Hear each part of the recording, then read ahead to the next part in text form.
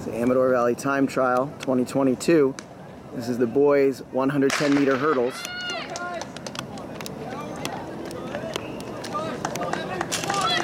Josh Astorius out fast. Evan Lucero's been working hard this offseason. In second right now. This is Daniel Beckley in third. Adam Cowan coming in, and it's Josh over Evan by just a little bit.